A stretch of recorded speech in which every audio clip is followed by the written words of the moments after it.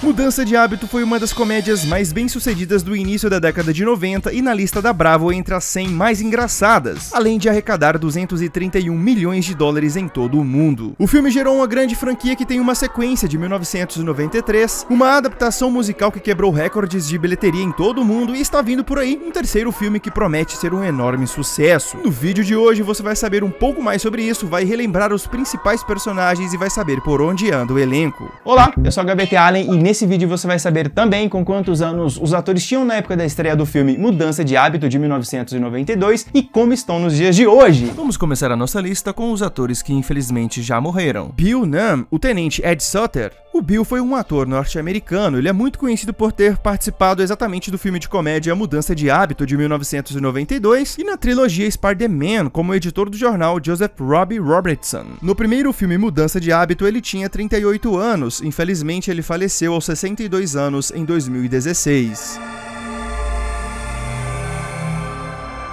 Mary Wicks, a irmã Mary Lazarus. A Mary foi uma atriz norte-americana de televisão e cinema. Ela ficou conhecida por fazer vários papéis coadjuvantes, como de secretária, freira, empregada doméstica e enfermeira. No filme Mudança de Hábito, ela era a freira regente do coral antes da protagonista assumir este posto. Nesta época, ela tinha 82 anos. Infelizmente, ela faleceu três anos depois, aos 85 anos de idade. Eugene Greytak, o Papa João Paulo II. O Eugene foi um cidadão norte-americano, corretor imobiliário imobiliário aposentado que fez a carreira como ator personificando o Papa João Paulo II. Quando a sua imagem foi usada no filme, ele tinha 66 anos. Infelizmente, ele faleceu aos 84 anos em 2010. Joseph Marr, o Bispo O'Hara. O Joseph foi um ator irlandês, dramaturgo e diretor de teatro. O seu último trabalho foi ao ar em 1999 para o filme Os Forasteiros, mas ele faleceu em 1998, aos 64 anos de idade. Quando ele deu vida ao Bispo O'Hara, ele tinha apenas 58. Rose Parente, a irmã Alma. A Rose foi uma atriz norte-americana e no filme Mudança de Hábito ela deu vida à freira mais simpática e pianista do coral. Nesta época ela tinha 81 anos na data de estreia e ela faleceu aos 85 anos em 1996. Quem lembra do primeiro filme sabe que o coral de Santa Catarina era repleto de senhorinhas, que na época já tinham mais de 70 anos. Então com certeza a maioria já faleceu, mas uma em especial é a ex-atriz Ellen Albertini Daw, que na época já tinha 79 anos. Ela foi uma das últimas a falecer em 2015 2015, com 102 anos de idade. Do elenco principal, essas foram as atrizes e atores falecidos.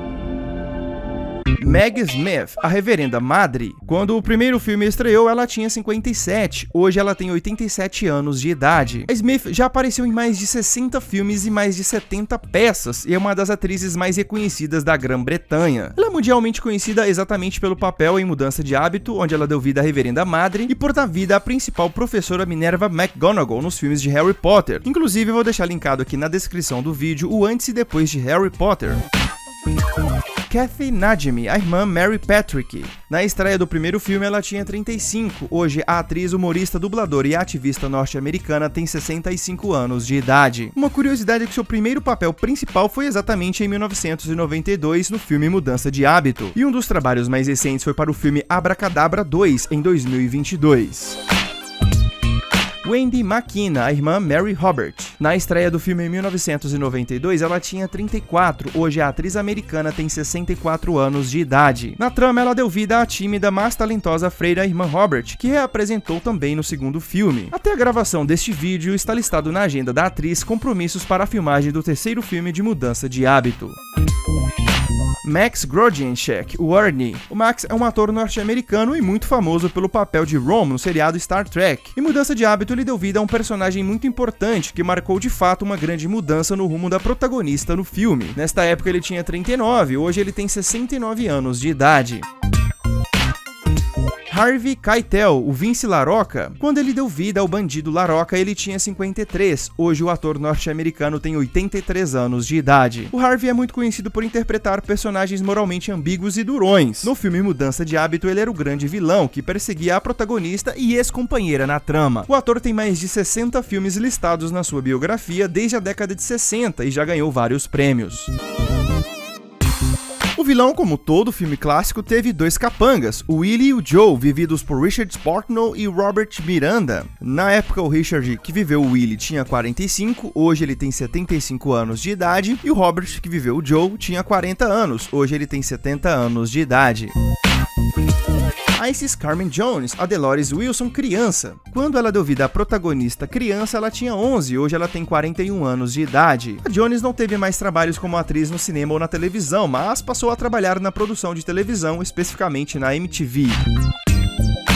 Whoop Goldberg, a Dolores Van Cartier, ou para muitos, irmã Mary Clarence. Quando ela deu vida a uma das principais personagens de sua carreira, ela tinha 36, hoje ela tem 66 anos de idade. A Whoop dispensa comentários, né? Ela já apareceu no nosso vídeo antes e depois do filme Ghost, do outro lado da vida, que foi um grande sucesso aqui no canal. A atriz está trabalhando para conseguir o roteiro ideal para o terceiro filme da franquia Mudança de Hábito desde 2016, mas só em 2020 a Disney aceitou o desafio e anunciou que haverá esta sequência. A Whoop disse poucos dias dias atrás que o roteiro final deste novo filme ficará pronto em breve e logo estará em suas mãos. Até a data da gravação deste vídeo, Mudança de Hábito 3, que promete ser um grande sucesso, ainda não tem data de lançamento.